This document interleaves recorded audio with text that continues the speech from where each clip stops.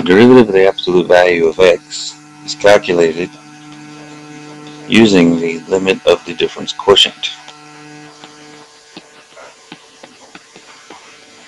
And you recall the objective is to lose the h in the denominator.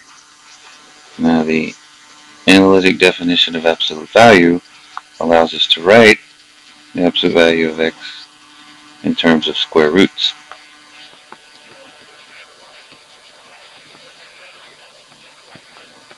Which we can rationalize out of the numerator to free the h in the numerator, which will then cancel with the h in the denominator.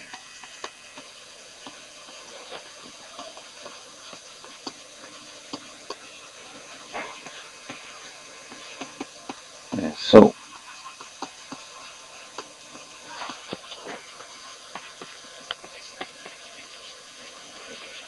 multiplying these two fractions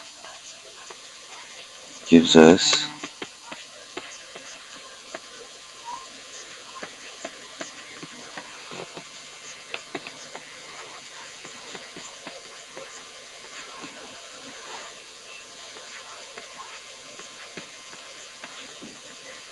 an expression we can take the limit of. By expanding the square in the numerator,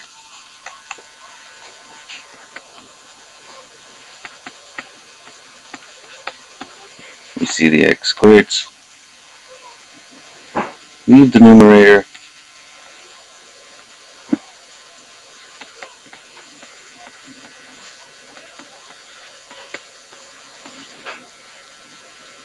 And there's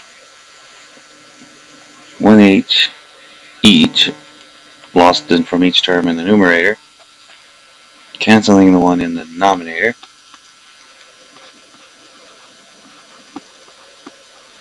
Leaving.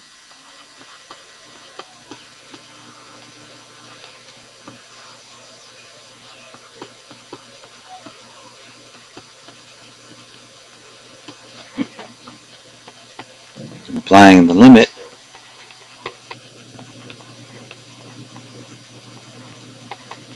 Cancel the 2's and